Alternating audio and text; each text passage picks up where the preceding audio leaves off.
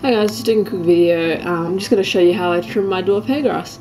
So, um, got everything set up. Uh, I've got some cloths here. These are some microfiber cloths um, that I use for my tank, um, just to stop, you know, getting my table wet since it's wood. Don't want it to, you know, get all yucky and whatever.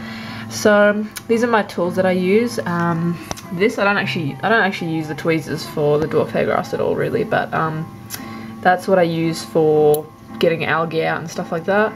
Um, and these are the scissors that I usually use to trim plants. And I don't think I'll be using these to trim my hair grass though because they're kind of long and it's kind of awkward to get sort of you know in this tiny area um, to cut it. So I'm going to be using some normal sort of hair cutting scissors.